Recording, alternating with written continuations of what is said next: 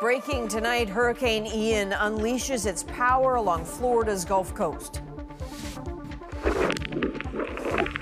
Do not be outside during this storm. Ferocious winds and heavy rains cause havoc, while the storm surges could get worse. And residents of storm battered Port aux Basques tell the Prime Minister what they need in person. Wards closed, patients in hallways, hospitals desperate for help. I have no staff today. Here, look, this is this is a sheet. Yeah. Blank, blank, blank, blank, blank, blank. Exclusive access to a healthcare crisis. This is The National with Chief Correspondent Adrienne Arsenault. Thank you for being with us. Parts of Florida's west coast are underwater right now and facing more danger tonight as Hurricane Ian churns across the state.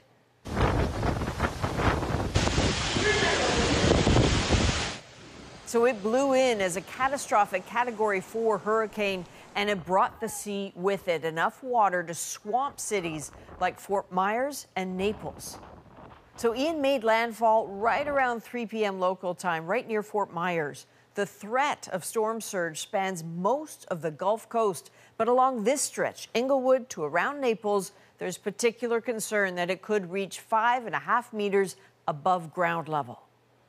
Paul Hunter is in Tampa, Florida tonight. So, Paul, can you tell us what's happening there right now? Hey, Adrienne, Yeah, I'm in downtown Tampa, just uh, steps from the water. And actually, we're under a highway overpass so that we can uh, stay uh, safe and dry while we're speaking with you. On the drive down here, we we passed multiple trees uh, that had fallen on the highway, multiple power transformers that exploded as we drove by them. It is windy, it is rainy, it is nasty out there. In Punta Gorda, south of Tampa Bay, wind almost as fierce as it comes in these parts.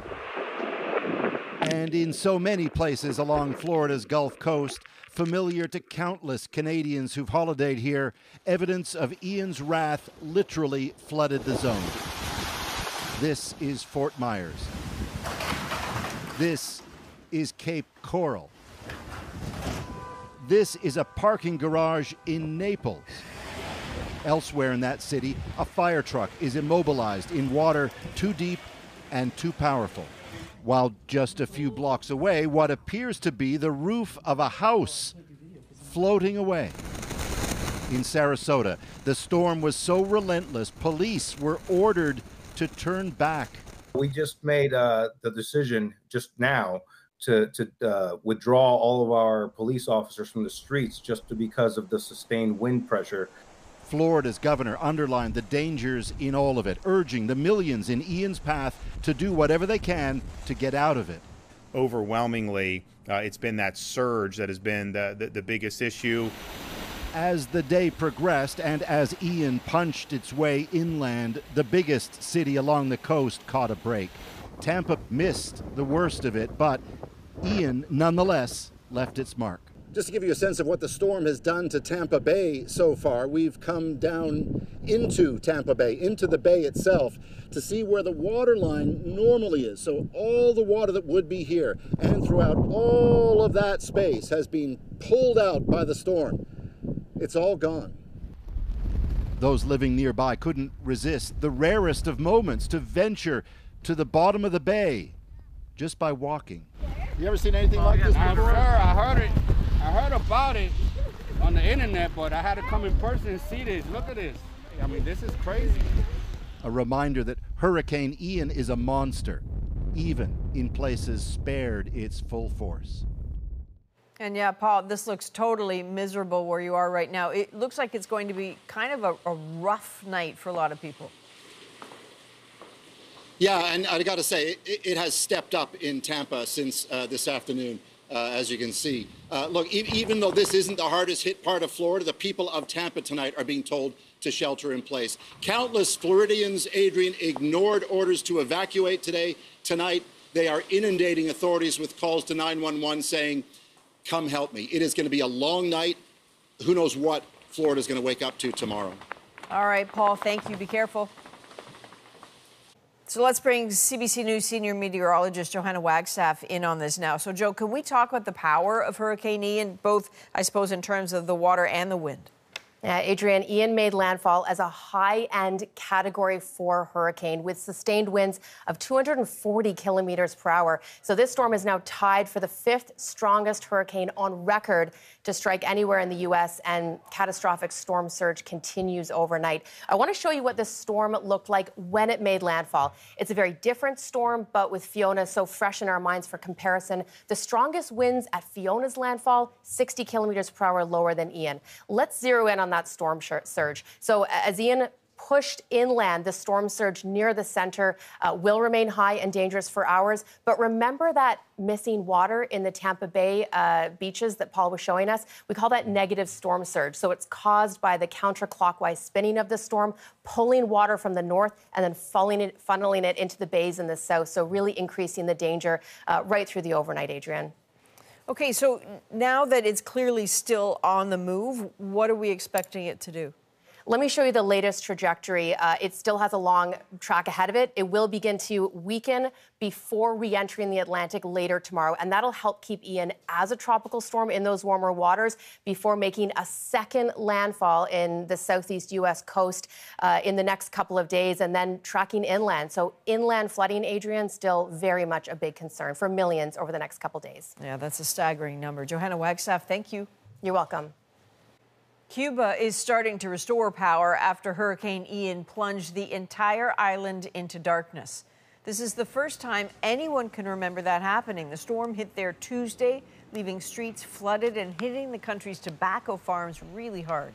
At least two people are reported to have been killed by a collapsed wall and roof. The Prime Minister got an up close look at Fiona's devastating aftermath in Port aux Basques, Newfoundland today, where help is still desperately needed. We're now at close to $10 million in donations to the Red Cross, uh, which we've committed to match, so that's $20 million directly to Fiona Relief. Uh, but there's more to do. The Prime Minister toured the damage zone with Premier Andrew Furey, who announced $30 million in provincial aid. They spoke with local residents and first responders about all those challenges ahead. Some 150 troops are now in the province helping with the relief effort. Now, whatever the final cost ends up being, people on the ground need financial help right now, especially those who lost everything. Chris O'Neill Yates now on the crisis some are facing. People are absorbing the pain of loss, at the same time wondering what now. Amy and Darren Osmond hoped for reassurance today from the Prime Minister that help is on the way. Where once the Osmond home stood, now just a pile of rubble. Darren was away working. Amy and their daughter got out just in the nick of time. We gotta oh go. We gotta go. It's pretty terrifying. It was a, it was a hopeless feeling. Just last week, Austin Taylor finished putting on a new roof and siding. He's full of fuel. The smell, you know, the, the fuel is, is there. During Fiona, furnace oil leaked into his basement. Now Taylor's paying for his family, including a 29 year old daughter living with disabilities, to live in a hotel. Everywhere he turns for help, it's the same. Leave a message, we'll call you back. We got no callbacks. The wife sits up all day with a phone ring, waiting for him to ring. When I came here, the water was coming in through here. Seven people used to live in this house. Terry Larish's dad passed down to him. On Monday, he says his insurance company told him he's not covered. I don't understand why they're doing it. So, I don't know. Is that all this act in nature or act of God, whatever it is, it should be included in your insurance. And the next day, he got another shock. They went into my bank account and took a payment out of my bank account for the insurance. So, you get the gall. And Larish can't rebuild on his own. He's laid off and on unemployment insurance. Osmond is hoping politicians will come through they're saying that they're going to look after us. So that's all I can just take them at their word and hopefully, I know it's a lot to say, but when you see it on paper, it'll be more, more assuring. If people were hoping for concrete answers about rebuilding, those didn't come today. Chris O'Neill Yates, CBC News, Port aux And Ottawa is stepping in after Nova Scotia's premier took aim at Canada's big telecom companies over widespread system failures during the storm. There needs to be a serious discussion about how we make sure that the service is reliable, particularly 911. People frantically trying to reach loved ones and friends and neighbors and do wellness checks, and, and certainly in some cases make 911 calls, which they couldn't. Four days after Fiona, some Nova Scotians still can't use their cell phones. In a letter to the federal government, Tim Houston slammed the companies for poor communication and a lack of transparency and called on the feds to intervene. It seems they heard him. Francois Philippe and I will be meeting with the CEOs of the telco companies later today. Disappointing is a mild, mild word for our view on the performance of the telecom providers in Atlantic Canada. It is just not acceptable. We will be making that very clear. The telecommunications industry has faced some tough criticism, especially after July's Rogers outage across the country. Tonight's meeting was not open to the media. Now, Fiona hasn't just turned people's lives upside down, it's also inflicted carnage on coastlines. Many beaches have been destroyed, with important sand dunes just washed away. Here's Kayla Hounsell on why that matters so much. This was Caribou Island in Nova Scotia's Pictou County before. Now, all that grass covered with all that rock. A lot of this rock here didn't exist. It was down there, all piled along that, those large rocks. Local resident and retired geologist John McLeod was here when Fiona roared ashore, battering the coast and scattering stone from this rock wall intended to protect against coastal erosion. Like these logs I see along here that you could not see before it was covered in rock. That's right. In Oysterbed Bridge on Prince Edward Island, around six meters of land just gone. It was totally amazing how much sand came in. It just, how does that happen? Like, and just look at this satellite images from the Canadian Space Agency showing Fiona sucked the sand right off PEI's shores. It's now sitting in that cloudy water. This is the most impressive one to me. Chris Houser is a coastal scientist. He's part of a program set up last year by the University of Windsor and Parks Canada that asks visitors to help track coastal erosion. You put your phone in the slot so that everyone is taking the exact same photo and use a QR code to upload it. This was Brackley Beach PEI before Fiona. This is Brackley Beach now. And what we saw was up to 10 meters of the dune completely eroded away. It's almost like somebody went through and cut the dune directly in half. He also says the coastline was vulnerable before Fiona struck. The last couple of years, we have not had the same level of coverage of sea ice. That protects the beach and the dune during the winter. And so we had a degraded state and we got hit even harder with Fiona. He says the dunes can recover, but it may take years, and only if people stay away from them and allow the vegetation to regrow. Some parts of the Canadian coast will never recover. McLeod says these rocks need to be bulldozed back into place. In uh, normal times, without these extraordinary events, it, it works. The big question is what to do if this kind of extraordinary event is the new normal. Kayla Hounsell, CBC News, Caribou Island, Nova Scotia. An investigation is underway tonight as ruptured pipelines between Russia and Europe continue to leak gas. It's being called an act of sabotage. And as Briar Stewart explains, questions are being raised about Russia's involvement. Bubbling to the top of the Baltic Sea, gas leaching from Russia's Nord Stream pipelines. European officials believe this was the result of sabotage. Seismologists say they detected explosions south of a Danish island earlier this week. So it was clearly planned, big operation, in all probability, almost certainly a state actor behind it. What is uncertain, who is behind this and why? The Nord Stream lines, which run from Russia to Germany, are a key flashpoint between Europe, which relies on imported energy, and Russia, which stands accused of weaponizing its supply. Phillips O'Brien is a professor of strategic studies and believes the pipeline damage is just another Russian signal.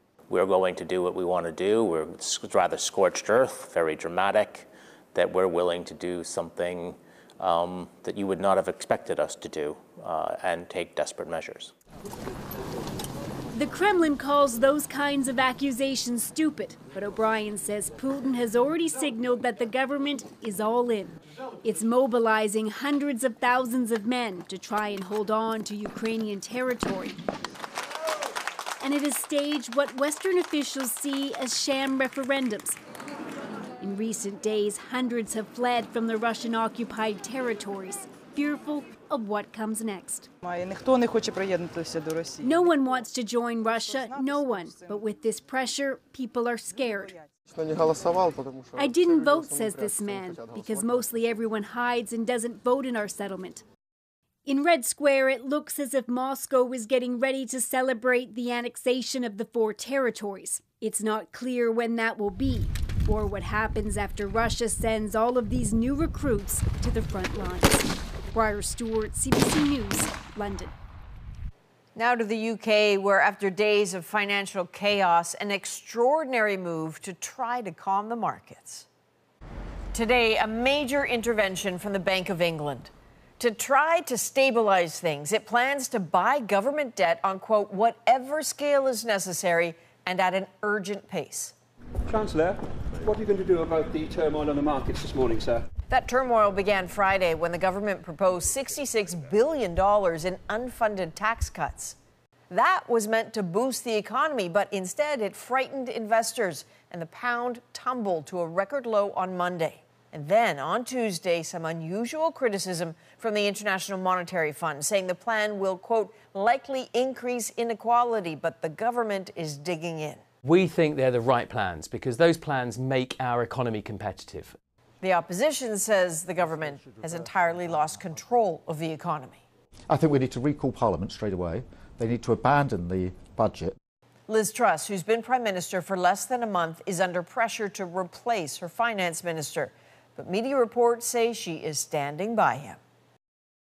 Now, here at home, there's another reflection of a higher cost of living.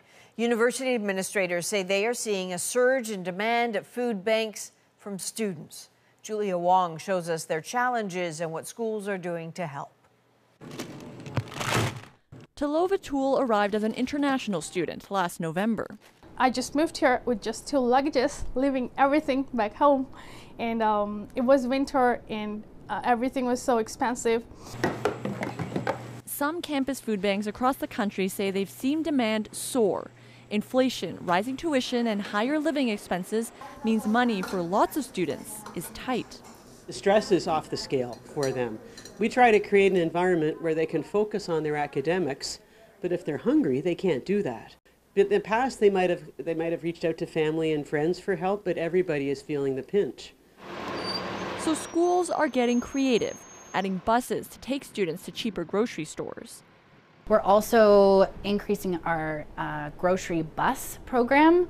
So we have a grocery bus that takes students from uh, this area, which has some of the most expensive grocery stores in the city, to further uh, down where there are cheaper and more varied grocery stores. They're expanding breakfast programs. Food pantries filled with fresh fruit, dairy, and other snacks are also popping up so students can grab what they need when they need it. I mean, it's great. I think the timing of, of this, you know, worked out really well um, for students. I don't think it could have came at a better time, to be honest with you. It's allowing students to save a little bit money at the grocery store by being able to come to our care cupboards and grab, um, you know, a quick bite to eat. As for Tool, she is now a volunteer at the campus food bank because she knows what it's like to be hungry. It kind of gives you a sense of uncertainty, and, and your mental health takes a toll a toll these innovative programs hope to address by meeting students where they are. Julia Wong, CBC News, Edmonton. The Governor General was in Saskatchewan today to meet with the families of the victims of this month's horrific stabbing attacks. Sam Samson brings us the scenes from Mary Simon's visit to James Smith Cree Nation. A solemn and personal start to the day Governor General Mary Simon joining a private visit to the graveyard behind this church, paying respects to those killed during the rampage. Yeah, the reason why we, we set up the memorial was because um, we wanted to honor our brother The Governor General also visited this memorial in the spot where Earl Burns died. His family says Burns chased down the attacker after being stabbed, but he died while driving, and his vehicle crashed here. This is where he took his last breath. His family placed a cross here. Others have since added wreaths and flowers. I just felt um, thankful that he put that much towards the reserve that people came and you know paid their respects. Like he uh, he did a lot for the community. Today has been a, a very important day for me because I came here and I understand much more about what the community is going through. This is the way that we start the journey of healing. Leaders here have been asking for help with addictions treatment, policing, and to get a separate space for healing. As much as we are supporting the community now, uh, we will need to have ongoing support for the community over the long term because this kind of, of trauma and grief um, doesn't go away very easily. For now, people here are grieving. They're using traditional ways to rebuild their shaken, but not broken, community. Sam Samson, CBC News, James Smith, Cree Nation, Saskatchewan. As hospitals across the country grapple with severe staff shortages, nurses on shift are hitting a breaking point. They're tired. They've been through a lot with the pandemic. Behind the struggle to keep the lights on at emergency rooms. A desperate situation that sees no end. My whole life is going as a refugee. There are no future for us. Why the Rohingya in India have been stuck in limbo for a decade and Here's another shot right by the sword! And there's and sword for Canada! remembering a legendary hockey series. I was in row 24 and C12. We're back in two.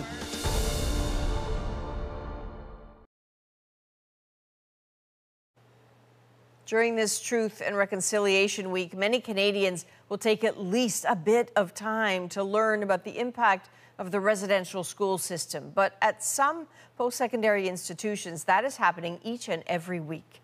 Deana Sumanac Johnson has details of a new wave of programs. Parliament passed Bill C5 to create a day of commemoration to honor the survivors. And This Indigenous Studies class is now compulsory for all undergrads at University of Prince Edward Island. One of the professors teaching the course says some students fresh out of high school may be surprised by what they learn. the racism that still exists, the inequality, the overrepresentation of Indigenous peoples in our federal prisons, uh, the impacts of Indian residential schools have created. It, it's, it's all new to them. thank you. This school year, UPEI and other institutions are going above and beyond to offer innovative courses that focus on Indigenous perspectives. And David Vera says everything changed a year and a half ago. Those unmarked graves uh, in Kamloops, BC, and then a number of other sites. I think that really struck to the core of what we have to do. After that, they realized things needed to change. For some institutions, that change meant compulsory courses in Indigenous studies and pouring money into new programs and courses tailored specifically to Indigenous students. Eva Ottawa, a former chief of her nation, teaches University of Ottawa's new French language Indigenous law certificate. attirer les apprenants, les, les apprenants autochtones vers des études en droit et on veut les accueillir à partir euh, des traditions, des ordres juridiques autochtones, à partir de leur bagage avant de faire le pont vers le, le droit civil. This man is taking Professor Ottawa's course to beef up his legal knowledge. if you don't have the credential, if you don't have this piece of papers, uh, people don't, uh, you know, necessarily want to listen to what you have to say. And while these new classes take different approaches, their goal is the same. Reconciliation, in one word. At the University of PEI, the new compulsory course seems to be popular. Once I become a classroom teacher, it would be something that I can just continue to widely spread and um, hopefully help future generations understand like what happened. I haven't stopped talking about this course to some of my friends, and I think it should be a mandatory course across Canada. making higher education a key step to reconciliation. Deana Sumanac Johnson, CBC News, Toronto. Hospitals across the country are scrambling to keep their doors open. So we're going to be closing Section C due to lack of staff this morning. We take you inside an emergency department where some days it feels like they are barely hanging on.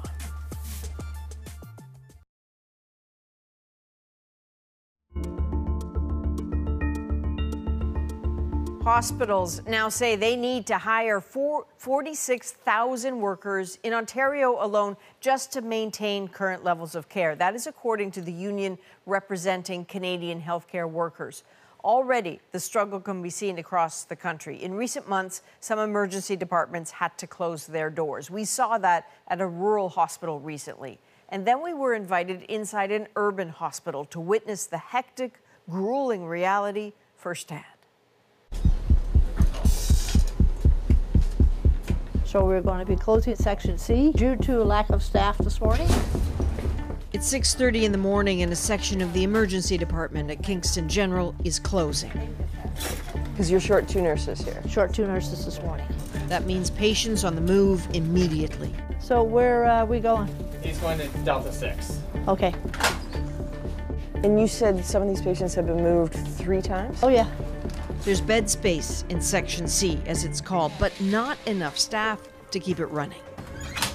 Now, who's next, guys? The COVID positive patient, the MRSA patient, or the has no isolation patient. He could be a good hallway. Charge nurse Monica Griffin has to find space elsewhere in Emerge where the remaining staff can keep an eye on the extra patients. Quite a few will end up in the hallway by the time we're finished. It's not very nice. How you doing? No, could be better. How are you? Okay. This young lady's been here in the hallway all night. Yeah, I've been in the hospital since uh, 11 a.m. yesterday morning. That's 20 hours in emergency so far for Missy Calbury, here for a broken ankle and waiting for surgery. In your mind, did you realize how busy it would be? No, I didn't. No, not until I came here and I seen it myself. I can't really sleep. People going by, always in people's way. Everybody's sweet here though, so that's good. They, they definitely need more people. Basically, down here now is, this is what you see. It's empty. 10 empty beds that we can't use. It's like this all the time, or worse. This is just our regular day. Monica's 12 hour overnight shift is done. She hands off to Angela Arnold, just beginning an already awful shift. Um, no floats whatsoever coming. That means I have no See? staff See today. here, look, this is, this is a sheet. Yep. Blank, blank, blank, blank, blank, blank. Kingston Health Sciences is a trauma center, and for about half a million people in the area, it's where you'll likely end up if you have a heart attack or a stroke. And when staffing shortages happen here, they hurt, and not just in the emergency department. Thank you, Colleen, so much for coming. Are you covering breaks? Yes. Yeah, I'm covering breaks and I can stay till 7. Thank you. Nurse Julia Fournier is the program manager for the ICU. Hi, how are you? Her job is ultimately to keep the department up and running well, but that is getting harder. Any more sick calls come in? Um, Amy is not going to be here. Oh, no. Tomorrow or Sunday. Okay, I hope she's okay. Hi, good morning. I see that staffing, we are down to 17 this morning, which is very challenging. At the unit's daily staffing huddle, Julia reports that they only have about 50% of the people they need. I put out all the SOSs on social media and emails and texting, and I'll continue to shift level as best I can. That's where we're at. Thank you. Thank you. Is that a good call, or I, I can't tell if this it's is a a good pretty day. typical call. We just try to plan for the next four hours. What's the next double we can make? So one nurse to two patient ratio. Is there a triple we can make? A one nurse to three patient ratio, which is never heard of in critical care. Does that mean you're worried about the care people are getting? I know the nurses provide excellent care. That's not, you know, but it's um, it stretches them. I'm. I knew it was going to happen. I'm so sorry. I do worry about them because of the, the the moral injury and the moral strain. They're tired. I'll collect myself. They've been through a lot with the pandemic. Yeah, it's hard. I have many conversations with them. Um, I worry about them. And then you take Yeah. that on. Yeah. Yeah, I do. I do. It's really, really hard to see your team struggle like that. Yeah. And I look around your office here, and it's full of things people have said to you. You're doing an amazing job. Your hard work and dedication. Yeah, they see it. And recognition is one of the ways that we support each other. Yeah, I care deeply for this team.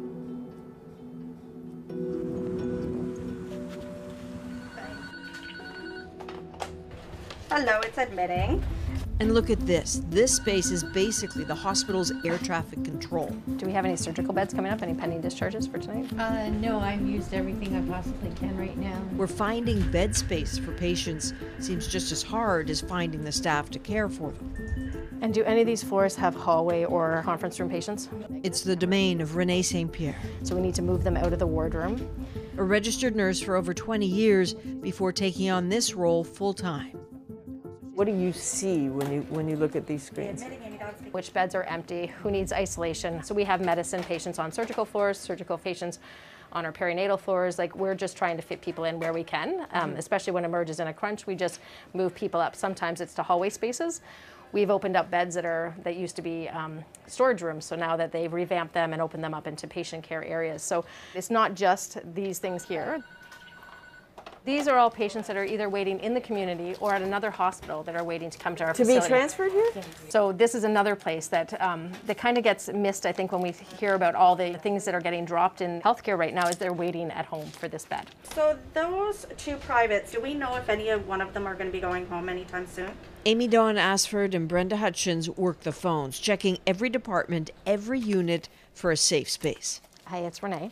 So yeah, we don't have any beds. So we'll have to move someone from your floor. Is there anyone going home that we could actually cohort those two MRSAs in a semi? No. Okay. Thanks. Okay. Bye. Time to head back to the emergency department with Renee. Just gonna let them know where we're at with beds because we physically just don't have any beds left. The ER is busy today, like really busy. Yes. So that's not the answer they need, right? No, it's not what they want to hear from us. No. Oh, wow. Okay, there's people everywhere right now. Hey, Ange. So just coming down to give you an update on beds. Going into tonight, there is going to be two ICU beds. Looking and hoping for some more surgical discharges um, to get anyone else out, but there's going to be one bed there. Other than that, med surge is pretty much full now. Hi there, it's Angela Charge. So that's a doctor calling to let her know there's another patient that needs to come to us.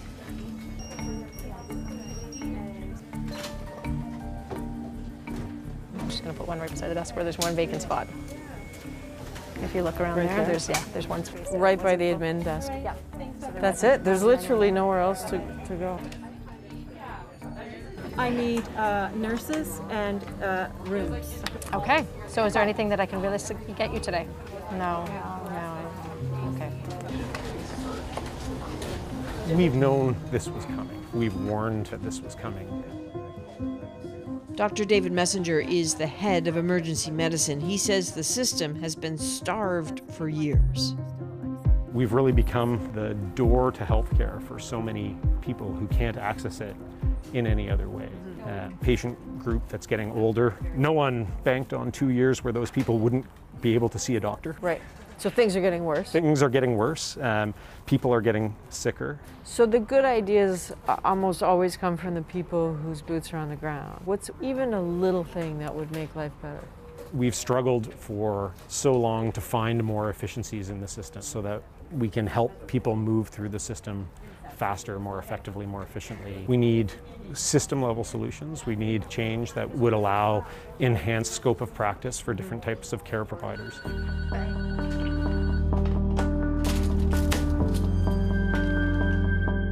So still no way to open up C though. I'm going to open it up with one nurse. With one nurse? Hopefully, keep it going with one nurse. Just one nurse means Section C can open up for the night. Still, there is a dread about what tomorrow will bring. You leave here and you think it can't get any worse, and it does. Like, you know, how much more can you take? But somehow they seem to just make it through. Somehow we were able to gather together and make sure that the sickest gets treated, and they will. If you're the sickest you're going to get in, somehow we make it happen. Now, the exhausted staff there in Kingston, but also across the country, are bracing for another potential COVID wave combined with the coming cold and flu season. But they do have some creative solutions to try to relieve some of the pressure on the system. We'll have that story for you in the coming weeks. Now, next on The National, the sudden death of a Toronto actor. This is my grandson, Finn. It's nice to meet you. Nice to meet you too. The tragic accident that cut his life short.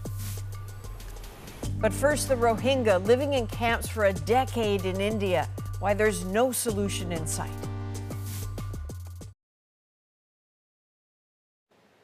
India is threatening to expel Rohingya refugees living in a tent city in Delhi. They fled Myanmar years ago to escape a campaign of violence launched by the military. Their life in India since then, very difficult. And now, as Salima Shivji shows us, any hope for a better life is all but gone. At the edge of Delhi, a desolate camp. Homes cobbled together with whatever materials the dozens of families who live here could find. It's a life unsettled, a daily struggle to get clean water in a place that has no toilets and little dignity.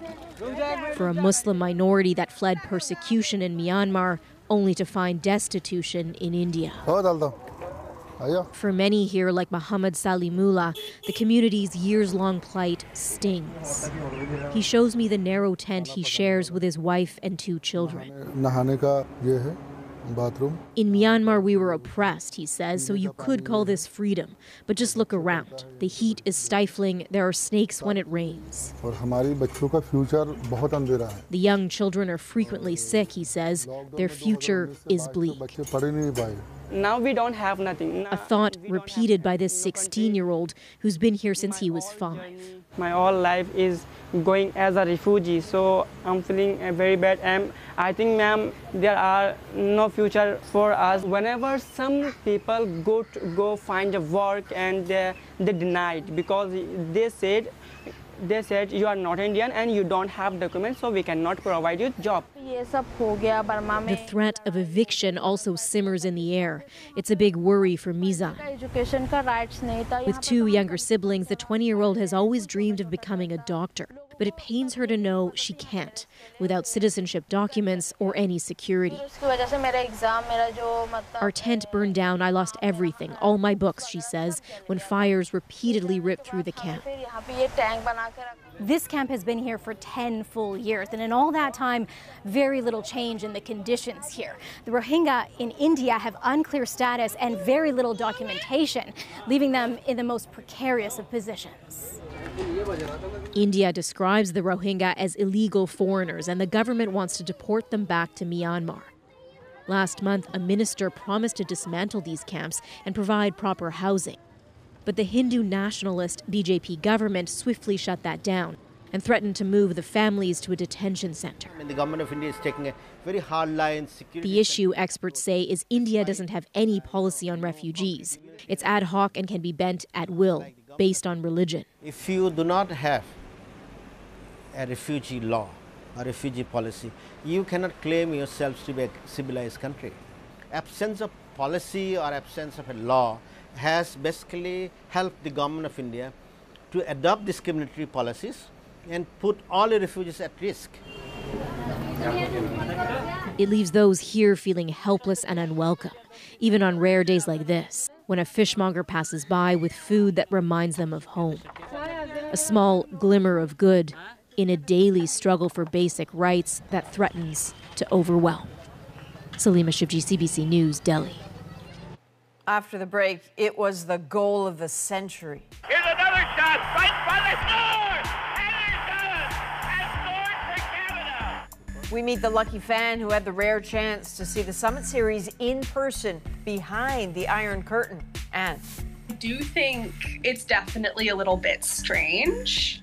A brother and sister's coincidental connection to Nova Scotia's most destructive hurricanes in our moment.